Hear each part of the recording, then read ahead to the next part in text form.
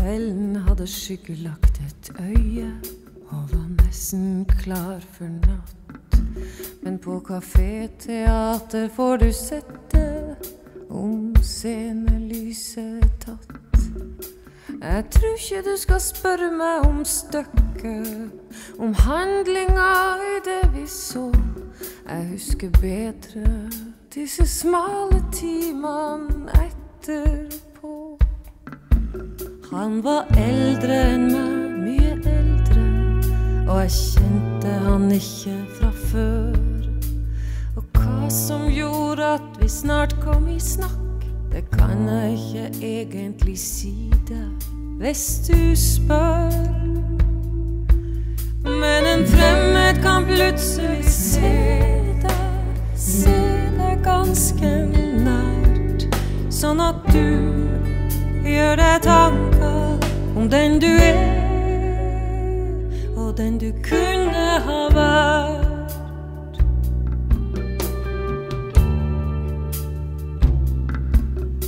Han hadde ei historie så sjelden, så bortimot sensasjonell. Han hadde eid en bar, en bar i Tanger, nesten Hemingway trange smugene i Medinaen, så legendehotellet Minzar blant arabisk ornamentikk i Afrika. Og sånn fortalte han seg sakte tilbake. Han kom inn på sitt livs havari. Ikke det på Atlanteren den enda da Tanger-tida var forbi. Og de var to som la med kurs for Cuba. Da tok stormen båt og mann. Men på dagen for Cuba-krisa når de land. Han var ung da han for første gangen. Gikk til sjøs med sin stamsigarett.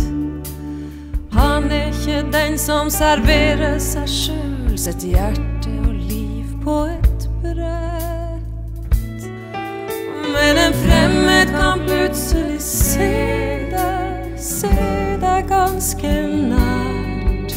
Sånn at du gjør deg tanker om den du er, og den du kunne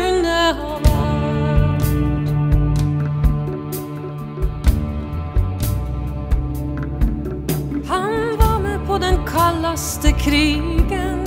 Den er giftig, den er taus.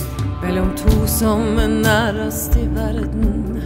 Når den ene vil rive seg løs. Og det sikkert patetiske, sa han, er at smerten som kjentes størst, kom da og klepte sitt lange hår uten å si meg det først. Det var ikke noe teater, det var natt for en gammel venn.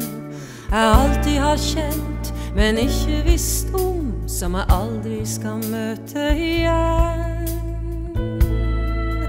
For en fremmed kan plutselig se deg, se deg ganske nært.